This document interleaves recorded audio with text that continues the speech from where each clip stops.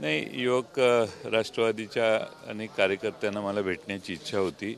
आणि म्हणून आज इथं सोयीची जागा आहे म्हणून इथं आयोजित केले. त्याला विशेष काही महत्त्व नाही आहे. पवार साहेबांची आज पत्रकार परिषद सुद्धा आहे. काल अजित पवारांनी काही गौप्यस्फोट केले काही खुलासे केलेला आहे त्या सगळ्या अं, यांना उत्तरं मिळतील आजच्या या बैठक अं, पत्रकार परिषदेची? माहीत नाही. त्यांनी कोणत्या कारणानं पत्रकार परिषद बोलवली आहे. आज दुपारी चार वाजता पत्रकार परिषद आहे त्यांची. त्यांनी त्यांच्या मनात काय विषय आहे मला माहीत नाही. हां? नाही नाही ही पूर्वीच ठरलेली बैठक आहे. मला आज वेळ होता पवारसाहेब इथं होते.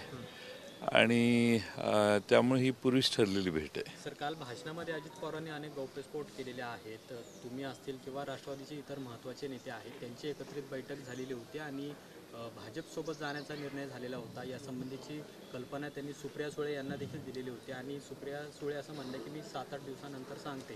पण सुप्रिया सुळे यांनी कुठलाही प्रतिसाद त्याला दिला नाही. म्हणून आम्ही हे सगळं पाऊल उचललं. असं त्यांनी म्हटलेलं आहे. त्या बैठकीमध्ये तुम्ही सुद्धा होता. आता काही बऱ्याचशा गोष्टींची केलेल्या कामात कृत्यानंतर स्पष्टीकरण देण्याची प्रत्येकाची पद्धत असते.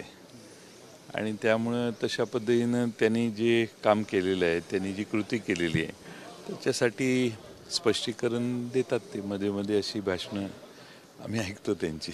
तुम्ही सुद्धा त्या बैठकांना उपस्थित होता. तुम्ही अनिल देशमुख त्या सगळ्या बैठकांना कारण की थेट तुमचं नाव त्यांनी असं काय झालेलं होतं? मी जरा योग्य वेळी सांगेन ना. काय सांगायचं ते मी योग्य वेळी बोलेन. प्रकाश सोळंकींना तर त्यांना मंत्रीच व्हायचं होतं प्रकाश सोळंकींना. तो मी कालही खुलासा केला आहे ते म्हटले की मला मंत्री का नाही केलं? म्हणून ते चिडून आलेले राजीनामा द्यायला निघालेले. कसं बसं त्यांना पक्ष कार्यालयात मी निमंत्रित केलं. आणि मग अजितदादा आले आणि अजितदादांनी माझ्यासमोरच त्यांना सांगितलं तुम्हाला पक्षाचं कार्याध्यक्ष करतो. त्यांनीच सांगितलं त्यांना माझ्यासमोर सांगितलं. आणि त्यानंतर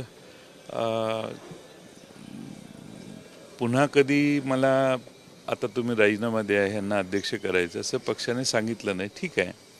पण सगळ्यात महत्त्व मला सांगितलं असं तुम्ही राजीनामा दिलाच असता.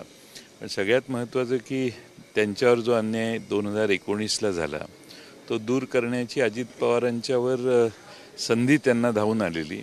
काल परवा ज्यांनी नऊ जणांना शपथ घेतली त्यावेळी बीड जिल्ह्यातून प्रकाश सोळंकींच्याबद्दल एवढी आपुलकी जिव्हाळा असता तर त्यांनी प्रकाश सोळंकींना मंत्री केलं असतं. पण त्यावर अजितदादा म्हटले की जातीय सगळं गणित बसवायचं होतं त्यामुळे त्यांना आम्ही हे केलं नाही. जर एवढंच तुम्हाला वाटतं तर तुम्ही असो हे सगळं गणित बसवलं असं अजितदादा तुम्हाला म्हटलं. प्रकाश सोळंकी आमच्याकडे आल्यावर आम्ही बसूच ना गणित.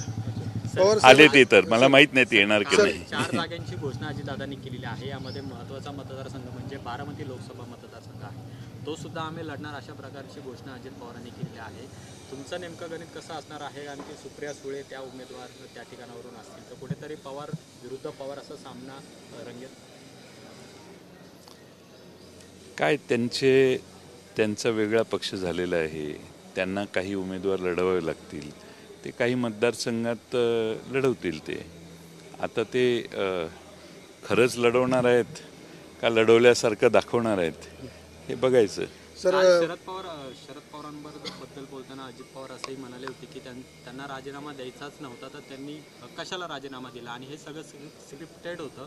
जे बाहेर आंदोलन झालं ते सुद्धा आधीच ठरलेलं होतं कार्यकर्त्यांना सांगितलेलं होतं. अशा प्रकारचं एक वातावरण तयार करण्यात आलेलं होतं. असं थेट रोग त्यांनी त्याच्याविषयी मला काही माहिती नाही कारण असं काही स्क्रिप्टेड आंदोलन करा म्हणून कुणाला कुणी आदेश दिल्याचं मला तरी स्मरणात नाही. कुणालाच सांगितलेलं नाही. मी तर कुणालाच सांगितलेलं नाही. सर अजित पवार असं देखील म्हणाले आहेत की साहेबांनी नेहमी आम्हाला गाफील ठेवण्याचं काम केलं. अनेक निर्णय असतील किंवा अनेक भूमिका असतील. तर त्याशी तुम्ही सहमत आहात का? कारण की तुम्ही देखील त्यांच्यासोबत काम केलं. मी आता बोलायची आवश्यकता नाही आहे निवांत बोलेन काहीतरी. हां? धन्यवाद. अजित पवारांनंतर मुख्यमंत्री पदाचं जी काही जागा आहे ती रिकामी होणार आहे आणि अजित पवार मुख्यमंत्री होतील असं संजय राऊतांनी भाकीत केलेलं आहे. मला माहीत नाही. त्या एकनाथ शिंदेच्या ना संध्याकाळी व्यवस्थित झोप लागू दे. तुम्ही कशाला त्यांना त्रास देताय? ते बिचारे मुख्यमंत्री म्हणून काम करतायत. आता त्यांच्यानंतर कोण मुख्यमंत्री? अशी चर्चा केली तर प्रशासन देखील त्यांचं ऐकत नाही आता. आता परिस्थिती काय आहे की हे कधी जाणार आहेत? म्हणून आय एस अधिकारी आय पी एस अधिकारी देखील ऐकायच्या मनस्थितीत नसतात. सगळं सरकारच ठाम ठम्म हो म्हणजे हे होऊन जातं ठप्प होतं. त्यामुळं एकनाथ शिंदे जोपर्यंत जात नाही तोपर्यंत त्यांच्याविषयी अशा वावड्या उठवणं योग्य नाही. शेवटचा अजित दादा मुख्यमंत्री होतील हे त्यांनी कुणी? राऊतांनी. म्हणजे एकनाथ शिंदे जाणार आणि अजित पवार मुख्यमंत्री होणार. तशी बरीच यादी मोठी आहे. कोण कोण मुख्यमंत्री होणार याची? शेवटचा प्रश्न सुरुवातीला अकरा जागा अजित पवार गटाला मिळतील लोकसभेच्या अशा चर्चा सुरू होत्या. पण काल अजित पवारांनी फक्त चारच जागांची घोषणा केली आहे. नाही करतील ना. उरलेल्या जागांची करतील कारण भारतीय जनता पक्षने बरीचशी माघार घेतलेली दिसते. परवा एक टाइम्स ऑफ इंडियामध्ये पहिल्या पानावर बातमी होती. सव्वीस भाजप अकरा अकरा हे दोन. मग नंतर त्याच्यावर लगेच नाही तसं काही नाही म्हणून खुलासे आले.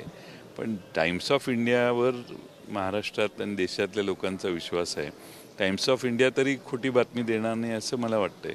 तुमचं काय गणित ठरलं की तुम्ही सुद्धा महाविकास आमचं गणित अजून ठरलेलं नाही. त्यामुळं आमचं ठरेल ना. आता थोड्या दिवसानं चर्चा होईल बैठक होईल. पण आमचं अजून काही ठरलेलं नाही.